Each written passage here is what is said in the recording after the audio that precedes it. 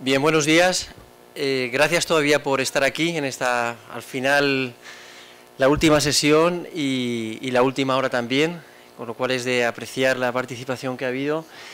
Eh, yo soy Luis Jimena y, bueno, me han concedido el honor y lo quiero agradecer a los organizadores, aquí presente la profesora Cervello, de presentar al, conferenciante último, al ponente último para la clausura, a don Álvaro Gil Robles, y a mí cuando me lo dijeron, pues claro, no podía decir que no, porque para mí, insisto, era un honor por razones de admiración profesional, personal, eh, a la figura de Álvaro Gil Robles, y podríamos estar mucho tiempo presentándole. Ahí aparece eh, dos de los aspectos en los que él ha trabajado, que, por los que ha tenido repercusión, eh, él también ha estado, Álvaro Gil Robles, en la universidad muchos años, decenas de años, voy a decir así, como profesor de Derecho Administrativo, con lo cual la inquietud administrativa la tiene, pero como defensor del pueblo que fue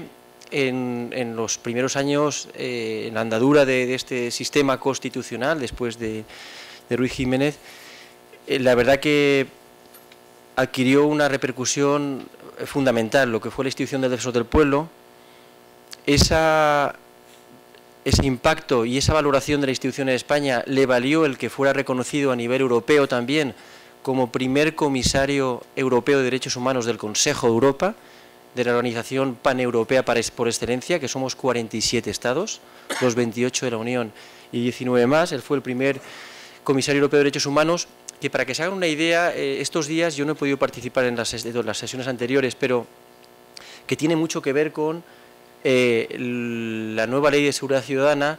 Como saben, hace dos, tres semanas estuvo el comisario actual de Derechos Humanos del Consejo Europa y hizo una serie de críticas después de unas visitas a Ceuta y Melilla, luego en Madrid, sobre las devoluciones en caliente, etcétera. Pues esa institución, esa repercusión que ha tenido, esa institución la puso en marcha eh, Álvaro Gil Robles en el Consejo Europa, es a través de esa institución en la que yo lo he, conocido también, en, Estrasburgo. Eh, él cada vez que va a Estrasburgo tiene un problema porque tiene que esconderse, porque dejó un nivel muy alto, le conoce todo el mundo, todo el mundo quiere hablar con él. Yo mismo en la Carta Social Europea hemos requerido, por favor, para darle visibilidad a la Carta Social Europea, vamos a acudir a Álvaro Gil Robles. Entonces yo creo que es un honor para nosotros que esté aquí para cerrar eh, este Congreso Internacional. Quería comentar una cuestión. El defensor del pueblo eh, español, es defensor del pueblo español, primer comisario europeo de derechos humanos, ¿qué sentido tiene aquí? Aparte de defensor de los derechos y libertades de la ciudadanía, como mediador, en algunos idiomas se dice mediador entre la ciudadanía y la administración. Y en este tema es eh, fundamental. Aquí se está hablando estos días del binomio entre libertad y seguridad. La noción de orden público que es una noción clásica en el sentido de restricción de derechos, y otra noción de orden público como sistema consenso mínimo en materia de derechos y libertades, de respeto de derechos y libertades. Yo creo que no tienen que ser contradictorias, como a veces se presenta, porque yo creo que eh, estos días que se ha estado criticando la nueva ley de seguridad ciudadana, las, partes críticas que hay, lógicamente, libertad de expresión, eh, creo que cuando se, reconoce una restricción, se atribuye una competencia. Aquí buena parte de los que están ustedes son policías, algunos de ellos de ustedes los conozco, hemos tenido ocasión de compartir en algunas en otros ámbitos algunas clases, algunas charlas. Eh, cuando se da una competencia, si esa competencia es restrictiva, eso va en demérito también a veces de la propia imagen policial. Yo recuerdo, ahora estamos hablando de devoluciones en caliente. Parece que eso, como es una cuestión restrictiva, el propio comisario el otro día lo, criticaba, aquí se habrá criticado también, eh, ha habido otro vocabulario a veces que no ha sido tan, eh, utilizando el término en caliente, tan negativo, si, recordar, si recuerdan, en el año 90, cuando se hace el convenio de aplicación de Schengen, se hizo la persecución fronteriza en caliente, en caso de flagrante delito, que eso fue un avance importante para la lucha antiterrorista. Pero no siempre todas las medidas compensatorias respecto del déficit de seguridad son positivas. Entonces, yo creo que eh, la conferencia de clausura que nos va a dictar Álvaro eh, Gil Robles, em, de lo que va a hablar no son de aspectos técnicos concretos que han estado viendo aquí ya, sino de una cuestión que, que es muy preocupante, y es el sistema de valores que tenemos en la sociedad actual. Hasta ahora habíamos estado acostumbrados a hablar de legislación anticrisis en materia de derechos sociales, pero nos hemos dado cuenta que la legislación anticrisis también se aplica en materia de derechos civiles y políticos, en materia de seguridad ciudadana. Nos pensábamos que los derechos importantes únicamente eh, fundamentales eran los derechos civiles y políticos y ahora resulta que esa indivisibilidad la vemos como el recorte a los derechos civiles y políticos, a la seguridad, viene a través de un recorte que se quiere hacer de forma indirecta a la protesta social, por ejemplo. Y de ahí el título de, su charla de, qué valores tenemos en la sociedad, qué derechos humanos en este binomio libertad-seguridad. Bueno, como decía, no quiero alargarme más porque lo único que quería comentar era que ese cargo que él ha ostentado eh, como defensor del pueblo en España y como defensor del pueblo europeo, que en definitiva el comisario europeo de derechos humanos es una especie de defensor del pueblo europeo, también participó, para quienes no lo sepan, en la elaboración del Tratado de Maastricht, el artículo concreto que reconoce el defensor del pueblo de la Unión Europea también estuvo directamente implicado en la redacción, en ese supervisor de la actuación de la Administración en el ámbito de la Unión Europea.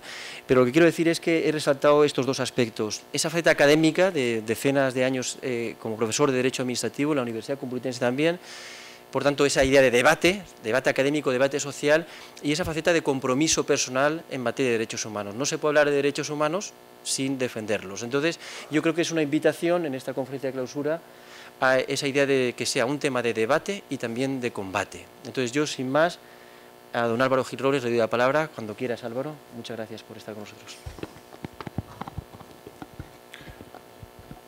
Bien, muchas gracias, Luis. Yo tengo que hacer dos agradecimientos, ya no me queda más remedio. Uno a los organizadores por invitarme a estar aquí, lógicamente en Valencia hoy. Yo creo que es la tercera en poco tiempo que vengo a Valencia, otro para otra reunión sobre policías locales para una tesis magnífica que tuve el honor de estar en, el tribunal y la tercera hoy. Así que gracias porque a la cuarta me hago valenciano, o sea que eh, tengan un poco de cuidado.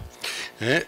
Y también por la presentación de, de, Luis, que habrán visto ustedes lo que significa tener un amigo, ¿no? que diga estas cosas que no siempre no siempre ocurren y menos en el mundo académico donde solemos acuchillarnos con mucho cuidado, sobre todo no decir una palabra amable del otro por si acaso lo apuntan para otro concurso, ¿no?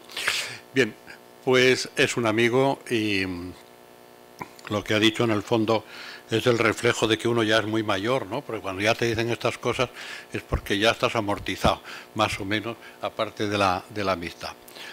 Pues bien, yo no quiero ya hacerles a ustedes un, discurso porque yo creo que ya han tenido muchos y además están al final del seminario y ya, ya estamos pensando en, el fin, pero sino unas reflexiones simplemente al hilo de, mi experiencia.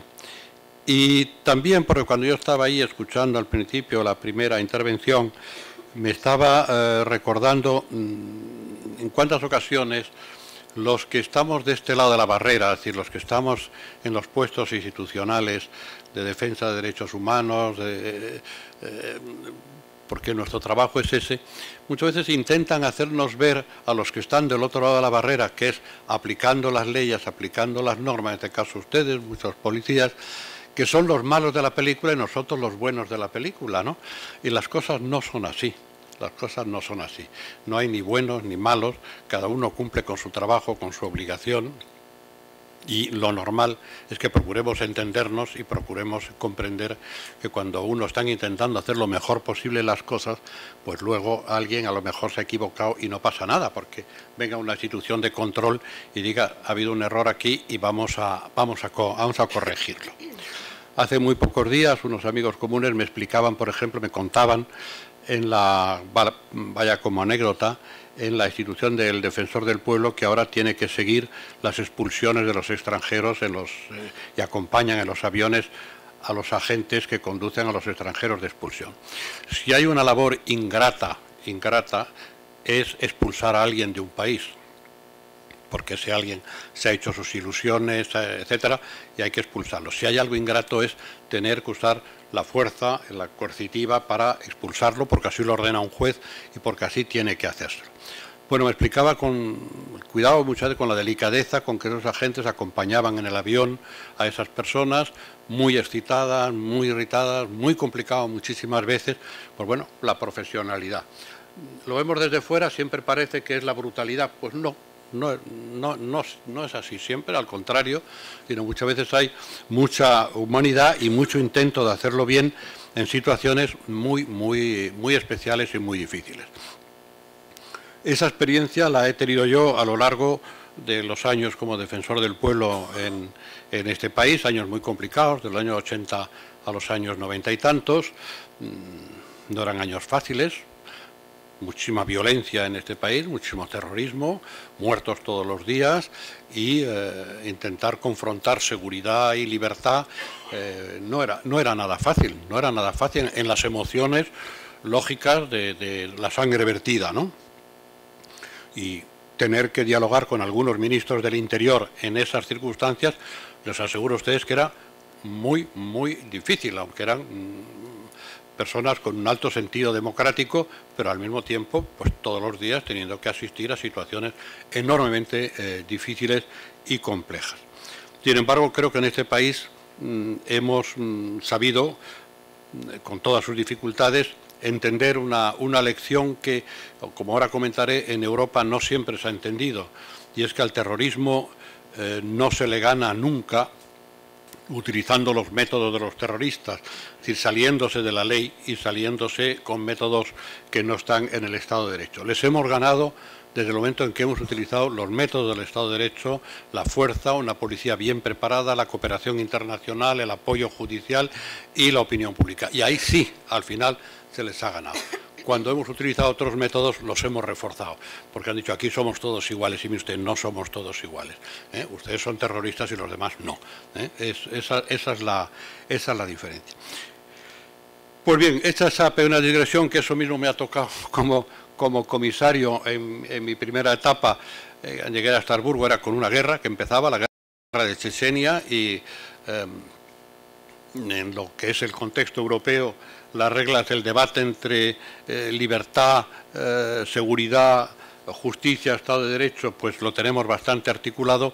Mm, fíjense ustedes lo que es eh, aplicar esas normas del Consejo de Europa en una guerra en la que una de las partes es la Federación de Rusia y la otra son unos grupos pues, balcanizados prácticamente. Estaba el, inicio de, lo que es hoy la confrontación yihadista que estaba junto con los, con los chechenos.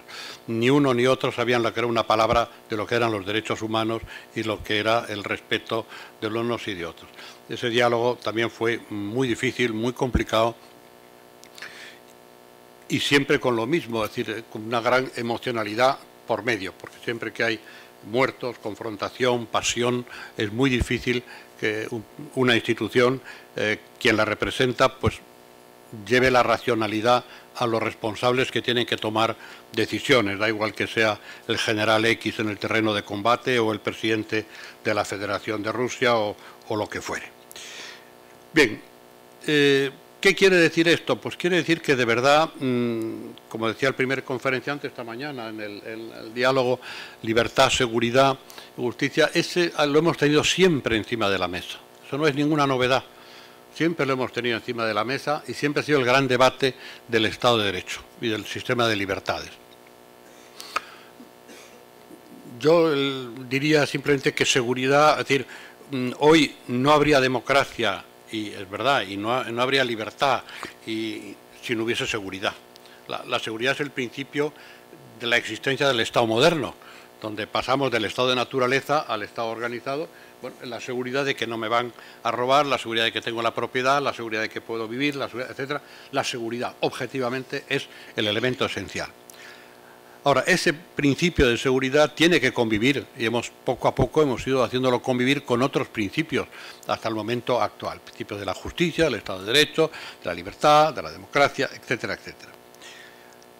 No ha sido en nuestro contexto, porque hoy vemos lo que vemos, nos, nos choca, este debate eh, y esta brutalidad en la defensa del Estado de la seguridad, de la razón de Estado, etcétera, en Europa lo hemos tenido durante siglos, es decir, durante siglos. ¿eh? eh, el ataque a las libertades, el ataque, la defensa del principio de autoridad, toda la Edad Media y hasta prácticamente final del siglo XVIII en que Rousseau hace el famoso tratado sobre la tolerancia, aquí nos hemos pasado quemando al prójimo porque pensaba distinto o porque escribía distinto. Es sea, acuérdense ustedes, hay un debate muy, muy bonito eh, cuando el juicio a Miguel Servet en, Ginebra, porque Calvino lo, quiere condenar y lo condenó por discutir el calvinismo, eh, Miguel Servet escapa de España, sabe usted, perseguido por los papistas y por la, por la, por la Inquisición, eh, por oponerse precisamente a Roma, y va a refugiarse en Ginebra con Calvino y como sigue diciendo lo que piensa, Calvino dice, ¿cómo? Este es un loco frenético, eh, va a poner en peligro la situación, lo detiene, lo condena y lo quema. Y lo quema. ¿eh? A pobre Miguel Servet, que era, mm, mm, vamos, no era previamente un peligro público. Pues hay una frase que eh, tremenda de, otro filósofo francés, Castillon, calvinista también y protestante también, pero que no podía ir a, Ginebra porque también se lo, quemaban, pero que epistolarmente defiende a Servet delante del Calvino. Y hay una frase que ha quedado, que a mí me ha impresionado muchísimo, lo recoge Stefan Zweig muchas veces, que es, le dice, eh, mire, em, matar a un hombre por ideas es matar a un hombre, punto. no vale, no vale. Por ideas no se puede matar a nadie. Matar a un hombre es matar un hombre. No, no, hay otra cosa. Y es, digamos, la expresión máxima del humanismo. Es decir, o sea, mire usted, no, el ser humano no lo podemos matar, no lo podemos asesinar porque piensa distinto, porque se manifiesta distinto, porque cree otra religión distinta. Y en eso, pues hemos mm, avanzado muchísimo. ¿Dónde está la concreción, yo creo, eh, mayor de estos principios de libertad, seguridad, etcétera, pues yo creo que están en Europa. Muchas veces lo olvidamos. Lo olvidamos porque hoy tenemos una crisis muy profunda. Eh, Europa es el espacio, digamos, geográfico donde se producen las mayores barbaridades desde el punto de vista de los derechos humanos durante siglos. Y el final de la Segunda Guerra Mundial esta vez la consagración de las mayores barbaridades con el nazismo en, Europa. Esta es la conmoción que cuando termina la Segunda Guerra Mundial los vencedores dicen, bueno, eh, aquí no, nunca más se puede volver a esto. Entonces es cuando se crea el Consejo de Europa y cuando se dice, vamos a crear un modelo de Europa, la Europa que tenemos hoy, pero basada sobre otros objetivos, basada sobre otra idea. Vamos a intentar no matarnos. El inicio de la, de la CECA, la Comunidad Económica del Carbón y del Acero, es la idea de Jean Monnet, es decir, vamos a dividir, porque las guerras, la primera y la segunda, han nacido en Europa por la distribución del carbón, del acero y de la queda, vamos a intentar que esto sea un bien común, que nos beneficiamos todos y no va a haber más combates por esto. Es el inicio, después es mercado común, después es Unión Europea, poco a poco. Proyecto económico para que la riqueza sea para todos, no nos tengamos que pelear, no tengamos que haber guerras, que no se lugar a nacionalismos criminales para eh, ganar terreno, etcétera, pero también con un contenido político e ideológico. Algunas veces en Europa, sobre todo los anglosajones, han intentado decirnos que el proyecto europeo era un proyecto puramente económico. No es verdad, no es verdad. El que lea a, Jean Monnet, el que lea a De Gasperi, el que lea a todos los que estaban en aquella época, incluso a Winston Churchill, el proyecto era político. Justin Churchill habló de Estados Unidos de Europa, lo que hoy ha recuperado el presidente francés eh, Hollande, que habla de Estados Unidos de Europa e incluso el actual presidente de la Comisión. Y por eso había que avanzar en unión política, pero unión política ¿cómo? No creando una frontera común, eso era imposible, porque no se puede hacer en Europa eso en este momento, pero sí compartir unos valores y unos principios fundamentales. Tenía muchísima importancia.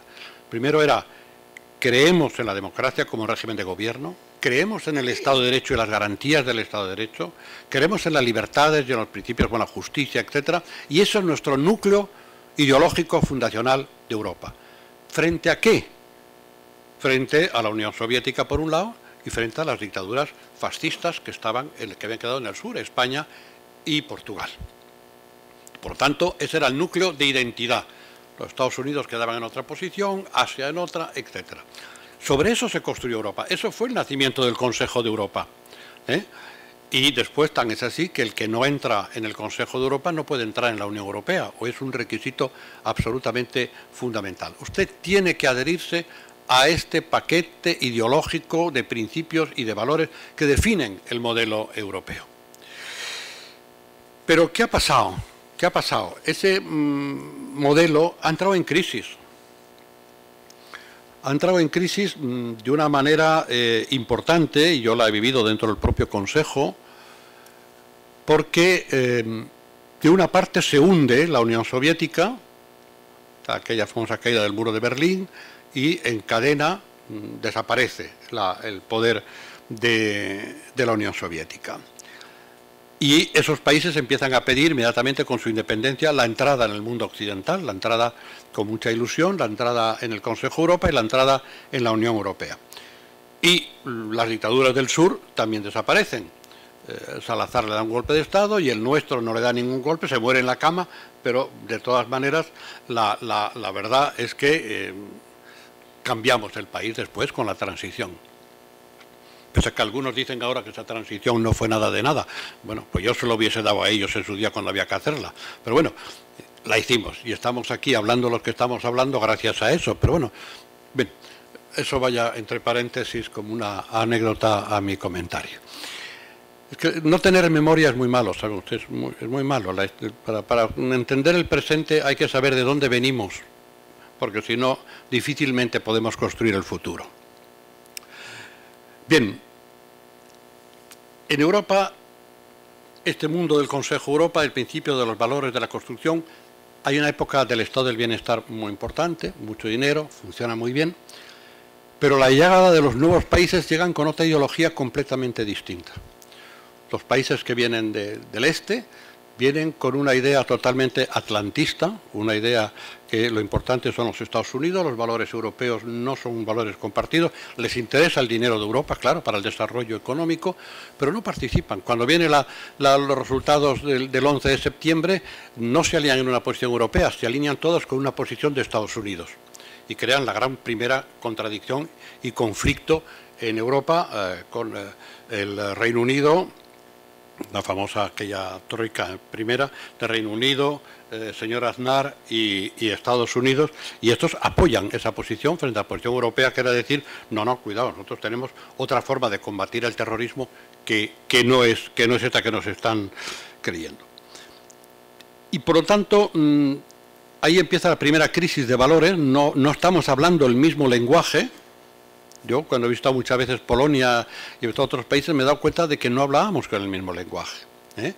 Los valores, por ejemplo, de la presencia fuertísima de la Iglesia Católica en Polonia, cuando yo era comisario y hablaba y decía, bueno, ustedes no pueden seguir persiguiendo a los homosexuales, no pueden ustedes seguir persiguiendo a esto. Me no, no, me miraban como si no me entendiesen. Es decir, es que, es decir eh, es que eso no puede ser, eh, como era eh, en Georgia que les que pegaban, etcétera. Ustedes tienen que entender que hay valores comunes que tenemos que respetar la persona, sus posiciones, ideología, etcétera.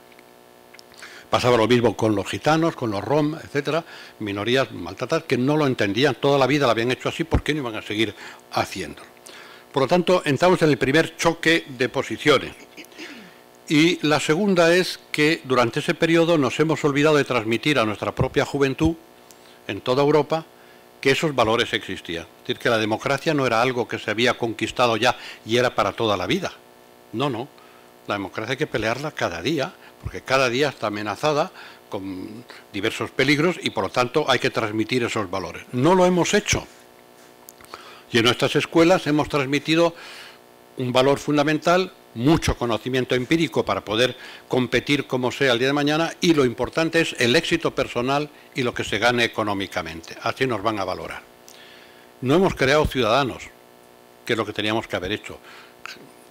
Personas que hubieran salido con buenos conocimientos y con una formación de valores que le permitiese luego analizar lo que estaba pasando alrededor suyo y tomar, y tomar posición. Hemos creado una generación muy mm, desguarnecida de valores que cuando pasa cualquier cosa no sabe qué hacer. Lo que ocurrió con el 11 de septiembre. Hay un ataque brutal y la sociedad despierta y dice, ah, pasa esto. ¿Y ahora cómo, reacciono? Pues que los maten a todos, lo que sea, lo que haga falta. Y renunciamos a todos nuestros principios para que en función del principio de seguridad se haga cualquier barbaridad. ¿Y cuáles son esas barbaridades? Pues muchas no, en Europa hemos dicho, esto es una cuestión de los Estados Unidos. No, perdón usted, no es una cuestión de los Estados Unidos. Es una cuestión nuestra, es una vergüenza nuestra en Europa que tendremos que aprenderla, y que yo lo he dicho algunas veces en el Parlamento Europeo y en el propio Consejo. Cuando estábamos en plena guerra contra el terrorismo con los Estados Unidos, guerra de Irak, ¿eh? por Europa pasaban aviones cargados de detenidos, aviones secretos, que se detenían en cárceles secretas en Hungría y en otros países, donde eran interrogados con métodos totalmente al margen del Estado de Derecho. Eso está prohibido por las normas de la Unión Europea. Y eso se ha hecho. Han pasado por Mallorca esos aviones clandestinos y hemos mirado para otro lado. Han pasado por centros de detención específicos como en Bornia y yo lo he visto. Yo he visto en Bornia, he entrado porque me pidieron que fuese a verlo, un centro de detención exactamente igual que Guantánamo, en una base norteamericana, exactamente igual. ¿eh? Llevado por una teniente, por cierto, que venía de Guantánamo y que me explicaba con gran regocijo cómo aquellos señores, vestidos de naranja en sus casetitas, todos con su Corán en la mano, etcétera, estaban allí, me decían, porque habían intentado teóricamente todos pasar la frontera clandestinamente. Y yo pregunté, bueno, o sea, todos han pasado la frontera clandestinamente con el Corán en la mano, estos señores, ¿qué me está usted contando? ¿Eh? Simplemente era, una prisión de paso. ¿eh? Cuando lo denuncié en el, en el, Parlamento Europeo que eso existía, a las dos semanas había desaparecido. Se desmontó. La, la CAFOR lo desmontó y, la, y el general que estaba al frente que fue el que me hizo ir, por cierto, era un francés, sabía muy bien por qué, por qué me hacía ir, porque era una vergüenza lo que estaba. Bueno, todo esto lo hemos vivido en Europa. Y hemos dicho seguridad, seguridad, seguridad. Las libertades, por aquí no pasa nada. Los derechos humanos, miramos para otro lado. Usted no, no hay que mirar para otro lado. No hay que mirar para otro lado. En, en ese mismo orden de cosas tuve que visitar una prisión en Londres, donde estaban 11 detenidos mm, acusados de terrorismo. Todos sabemos lo que eso significa. Yo no digo que no fuesen terroristas. No tengo ningún elemento para no decir que lo era. Estaban detenidos en una prisión incomunicados desde hacía seis años, sin acusación, con un juez que intervenía cada X tiempo para decir que se continuase. No tenían abogado, no podían ver a las familias. y había uno que estaba tirado en el suelo, me costó mucho ir a verlo, bueno, no, podían prohibir al comisario ir. Dijo, bueno, este señor que está tirado en el suelo aquí, que estaba diciendo que él veía a Alá y que estaba como las maracas de Machín, digo, bueno, esto, este señor, ¿cómo puede estar en esta prisión? Tiene que estar en un centro psiquiátrico.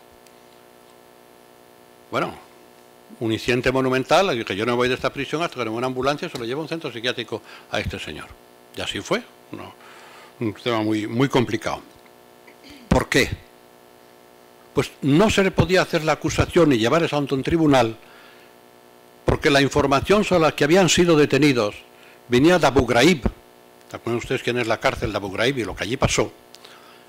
Facilitada por la CIA, y ningún tribunal británico iba a aceptar una prueba basada sobre una duda fundada de tortura y por lo tanto, en cuanto que fuesen a un juicio, iban a ser al día siguiente en libertad porque todas las pruebas habían sido obtenidas bajo tortura y no el M5 no podía demostrar otra cosa. Bueno, entonces, ¿qué vamos a tener? Una cadena perpetua indefinida aquí, sin pruebas, sin juicio, pero bueno, están ustedes en el Consejo de Europa, están ustedes eh, eh, infringiendo el convenio europeo flagrantemente. Eso no lo hace ningún país más que ustedes. Bueno, al final efectivamente me dijeron, no, no tienes ninguna razón. Fuimos a, la Cámara de los Comunes, los puse en la Cámara de los Comunes y al final la Cámara de los Lores dio la razón al comisario y esos señores tuvieron que salir en detención provisional en sus casas, etcétera, etcétera, etcétera.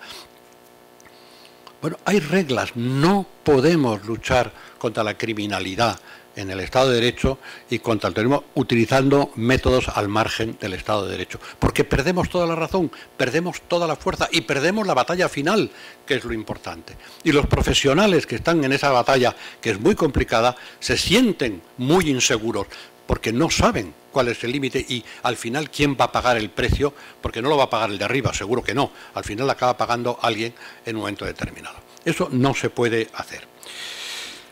Por lo tanto, hemos tenido esa crisis, una crisis de valores llevada por, esa lucha antiterrorista y otra porque nosotros mismos hemos perdido eh, mucha fuerza en Europa en nuestros valores. Como si no, mm, yo en el discurso que no les quiero leer porque a mí me parece que uno de los principios esenciales de un defensor de derechos humanos es no torturar a sus oyentes y por lo tanto eh, leer un, discurso es una cosa espantosa. Yo procuro no, no leer y ya sabe usted lo que decía Epicuro. Epicuro decía que cuando nos dirigimos a los seres humanos tenemos que tener en cuenta que es lo mismo un discurso corto que uno largo, siempre que se diga algo interesante. Bueno, yo prefiero quedarme en el corto porque en el largo los demás te miran con cara de odio cuando estás sentados enfrente, ¿no? Pues bien, esa, esa, crisis que hemos tenido mm, ha llegado a crear en Europa anticuerpos al proyecto europeo. ¿Qué llamo yo anticuerpos? Pues hemos creado movimientos xenófobos que están funcionando porque no hemos sabido tratar la, inmigración desde un principio eh, no comunitario que han aplicado los ingleses y así les va, porque claro, de ahí han salido gran parte de los, de los terroristas activos. La integración es muy difícil, Francia lo lleva, nosotros lo hemos llevado bastante mejor que Francia, y todo hay que decirlo. Francia ha habido mucha segregación en el fondo entre la, comunidad eh, musulmana y la comunidad francesa dirán, el principio eh, republicano eso lo impide, lo impide, pero cuando un joven magrebí que ha terminado la carrera va a pedir trabajo, no le tratan igual que a un joven francés que no es magrebí a la hora de darle el puesto de trabajo. Y eso es una realidad y eso ha creado un caldo de cultivo de mucho resentimiento. Las grandes banlieues esas donde están allí eh, con un sentimiento de, de marginación. Creado xenofobia, creado racismo, hemos creado un sentimiento homófobo. Es que en este momento en Europa hay partidos de extrema derecha con mucho éxito que están sentados con un programa antieuropeo en el Parlamento Europeo. Es que hay que hacerlo. ¿eh? Es decir, con la idea de destruir las instituciones europeas. ¿Para qué? Para volver a viejos nacionalismos. En fin, incluso estamos escuchando los discursos nacionalistas, son discursos del 19, cuando estamos en Europa intentando romper definitivamente las fronteras y hacer un, espacio común de circulación realmente libre, hay quien viene con el discurso que hay que hacer nuevas naciones, nuevas fronteras culturales, eh, políticas, jurídicas, eh, lingüísticas, etcétera, etcétera. ¿Por qué? Porque ya nuestros valores no, somos capaces de, de mantenerlos como unos valores universales entre nosotros.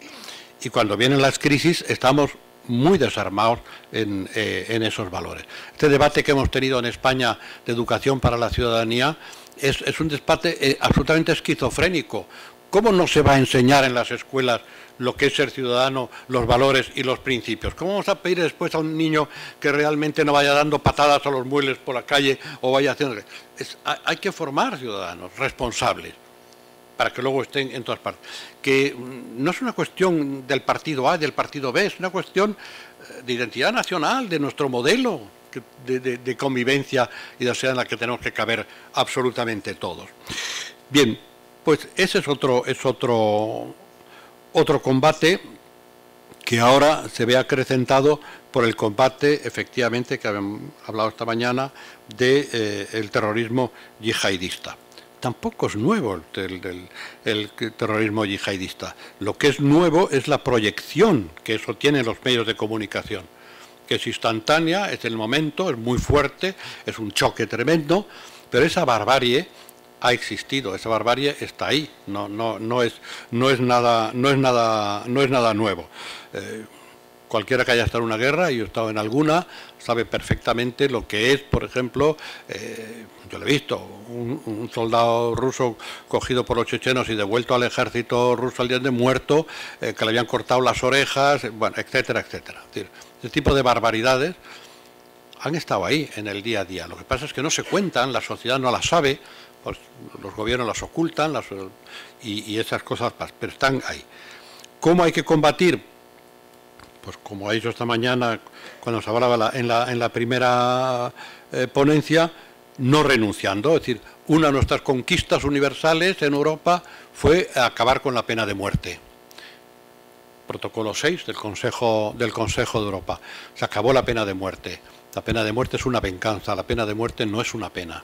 Y además es la única en la que el error no se puede, no se puede corregir.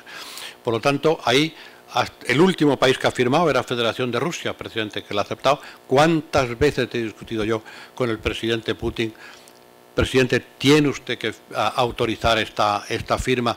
Me decía, no es el momento todavía, mi opinión pública. No es una opinión de opinión pública.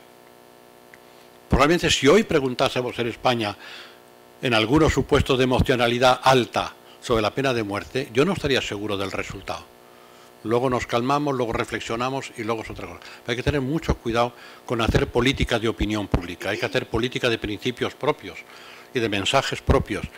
La opinión luego se respeta y se sigue, pero no, no se puede hacer eh, política a base de encuestas y de opinión pública. Mm, yo siempre, eh, en mis responsabilidades públicas, Siempre he soportado todas las críticas de prensa y me han hecho unas cuantas porque me han sacado la piel a tiras en muchísimas ocasiones, pero nunca me he dejado llevar por la opinión.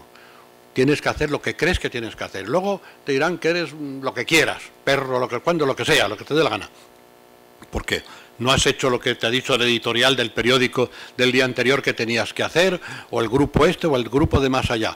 Te dicen de todos los colores, pero bueno, para eso te pagan. Estás en un puesto, te lo dicen cuando terminas, te vas tan contento que ha terminado, pero has hecho lo que tenías que hacer. Y luego la, opinión cambia muchas veces en las cosas. Pues bien, a ese terrorismo hay que mm, no caer en, lo que ellos quieren, que es que renunciemos a las libertades, que renunciemos a que apliquemos medidas extraordinarias, que volvamos a luchar contra el yihadismo con los métodos de Irak cuidado, ¿dónde nos llevó los métodos de la guerra de Irak? Ahí está esa vergüenza de la base de Guantánamo, que no sabe el actual presidente ni cómo cerrarla, ni qué hacer con ella, donde hay un montón de gente sin acusación ya, porque no hay ni acusación contra ellos, pero que no saben ni dónde, ni dónde llevarlo. No podemos funcionar así. Yo creo que ese, el gran reto que tenemos nosotros hoy no es eh, la lucha en sí misma, porque esa va a existir y yo estoy seguro que la ganaremos la comunidad internacional si no hacemos barbaridades en, algunas cosas. Lo importante es si somos capaces de rearmar nuestra sociedad en valores otra vez. Ese, es el, ese es el gran reto que tenemos, es decir, que nuestros ciudadanos piensen que el momento es difícil, que podemos dar, pero que tenemos que tener un bagaje ideológico y un bagaje de principios. Es decir, mire, no, yo no voy a renunciar a mi libertad por la seguridad. Si tengo que admitir algún sacrificio de la seguridad, en, función de la seguridad, de acuerdo, pero con todas las garantías del Estado de Derecho. Lo discutimos en el Parlamento, luz y taquígrafos, establecemos hasta dónde todos de acuerdo, con qué garantías, con intervención judicial, con responsabilidad y con temporalidad. Y con eso, vale, hacemos lo que haya, lo que, haya que hacer. Pero por detrás y de Macuto, no. Es decir, hay que hacer las cosas y nos responsabilizamos todos. Y todos somos suficientemente mayores para saber que mucho nos ha costado llegar a un Estado democrático como para no perderlo después porque un loco fanático nos dice en nombre de Alá o de quien sea determinadas cosas. Por mí, no, no vamos a, caer en esa, en esa tentación. Eso yo creo que es la parte más importante habrá ese debate de valores en las escuelas, en las universidades, en la sociedad, en los medios y naturalmente a los que tienen la responsabilidad de gobernar y la responsabilidad de aplicación de, aplicación de, las normas. No se consigue nada endureciendo los códigos penales, no se consigue nada. El mal está antes, el mal hay que atajarlo antes. Yo he recorrido muchas prisiones en Europa, entre otras las españolas, no voy a hablar de casos concretos.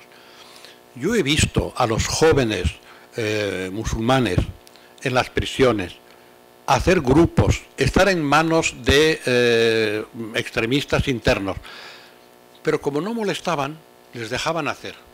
Aquello era una verdadera universidad de yihadismo. Yo os he dicho a los, a los franceses, tengan ustedes cuidado, quien viene aquí a predicarles es el de esta mezquita y ustedes saben esa mezquita de dónde viene. Bueno, pero están ahí, nos da igual. Ahí está. No da igual, no da igual. Como no da igual tener unas malas prisiones y no da igual invertir dinero en, las prisiones como en una buena policía, no da igual. No da igual, porque en una mala prisión, y yo he visto muchísimas, lo que es es una universidad del crimen. Como no haya para trabajar en la formación, como haya para trabajar en la educación, para separar a los jóvenes, darle una alternativa, etcétera, etcétera, etcétera. Todo lo que es el trabajo penitenciario no se lo voy a, explicar a ustedes ahora. Y eso cuesta dinero. Esa historia de decir las prisiones son como hoteles de cinco estrellas. Hombre, mire usted, vaya, cambie usted su casa por ese hotel de cinco estrellas, hombre, vaya usted allí ya se dará usted cuenta de cuántas estrellas. A lo mejor ahora con la que está cayendo van a hacer más prisiones de cinco estrellas, pero desde luego las que yo he conocido no son ni de una ni de media estrella. ¿eh?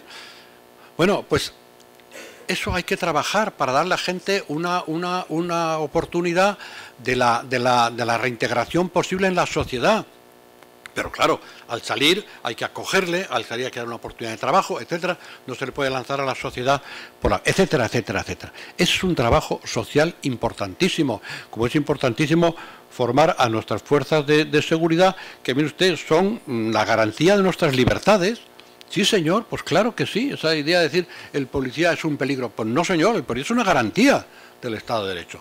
Pero al policía también hay que protegerle, también hay que darle una seguridad en el ejercicio de su trabajo y cada uno en su responsabilidad. Y cuando se equivoca, se equivoca, como nos equivocamos nosotros. Y termino sobre esto de la, de la eh, prisión eh, esta que se nos viene, que se nos viene encima. Eso es puramente responder a alguien que cree que hay una presión social que hay que hacer eso. Hoy en nuestro Código Penal tenemos penas para que alguien se, esté en la cárcel y se aburra de estar años en la cárcel. Eso de que vamos a meter en la cárcel y luego hacemos una revisión en determinados delitos, ustedes, yo solo he vivido en un país como Suiza, Suiza, ¿eh? que parece que todo está perfecto, tal que eso está lleno de agujeros y todo lo que quiera. Bueno, Suiza fue de los primeros que aplicó la, prisión eh, eh, perpetua revisable para casos de delitos sexuales de gran alarma, etcétera, etcétera, etcétera. tuvimos como comisario un debate jurídico que comisario hay una presión social, me decía Blocher, que era entonces el, el, ministro, que era un ministro muy de extrema derecha, es absolutamente imprescindible, la sociedad lo exige, tenemos que ser radicales, pero no se preocupe, habrá una revisión, esto no es, esto no es, perpetua. Digo, así, ah, ¿qué revisión? Mire usted, dos condiciones que vamos a poner. Una, que él renuncie, eh, acepte hacer eh, una castración química voluntaria. Ah, muy bien, entonces ya puede salir. Y dos, que un psiquiatra cada X años garantice que ya está curado y pueda salir. dije, bueno, o sea, me está usted presentando como solución la mutilación voluntaria y dos, que un psiquiatra se juegue su carrera para decir públicamente que esa persona está curada y a lo mejor surge cualquier incidente y ya se ha terminado por ya. Dígame usted, ¿qué psiquiatra va a firmar hoy un informe diciendo que un delincuente sexual está curado y ya puede salir con la que está cayendo en la sociedad y las tensiones que hay? Ni uno, ninguno. Me dijo, ah, bueno, eso ya es otra cosa. Con otra cosa no. Está usted aplicando la cadena perpetua definitiva, porque el señor no va a salir nunca de, ahí, a no ser que acepte la mutilación. Pero bueno, detrás de ellos fueron los suecos y los finlandeses y otros más. No creen ustedes que es una novedad. Esa no es la, esa no es la, solución. ahí no hay más que un responder a eso, a una presión social, y no hace falta eh, introducirla, ni muchísimo menos. Olvidamos el principio de la justicia, que es el último valor que yo quería decirles, libertad, seguridad y justicia. Si la justicia no es meter a alguien para todavía en la cárcel, la justicia es dar una oportunidad también al que se ha equivocado de poder recuperarse y de poder reintegrarse en la sociedad. Y lo hemos hecho y lo hemos hecho con incluso los crímenes más difíciles de terrorismo, incluso en España, hemos recuperado gente y la hemos reinsertado y le hemos dado una oportunidad porque esta sociedad es mm, bastante más generosa de lo que muchos puedan pensar.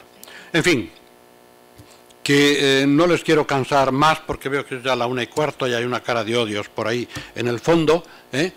pero que este debate no es nuevo, este debate nos acompaña y nos acompañará y lo importante es que sepamos como sociedad afrontarlo muy unidos, muy firmes en nuestros valores, que esos valores no nos los va a quitar ningún terrorista, ninguna extrema derecha, ningún fascista, ningún nadie nos va a quitar esos valores y esos principios, porque esa es la identidad de Europa.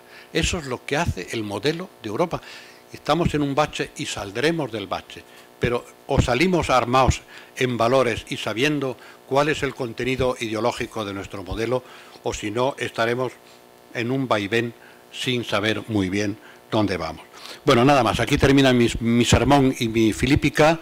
Muchísimas gracias por su atención y eh, tengan esperanza que cuando las cosas se ponen muy feas, muy feas, muy feas, después va a escampar siempre, después habrá un poco de sol y las cosas, las cosas saldrán. Esa es la experiencia de un anciano en derechos humanos. Nada más, muchísimas gracias.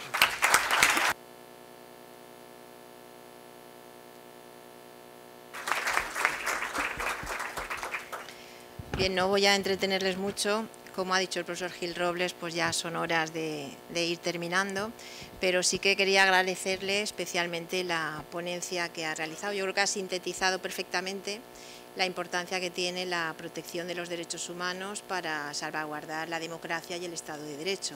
De manera que yo creo que sin estar presente casi ha, ha recorrido todas las mesas redondas que hemos hecho desde desde hace dos días. Bien, pues solamente me queda agradecer a todos los que han hecho posible que se haya celebrado este congreso. En primer lugar, a los asistentes, sin ellos no estaríamos aquí. Tenemos muchos alumnos y exalumnos.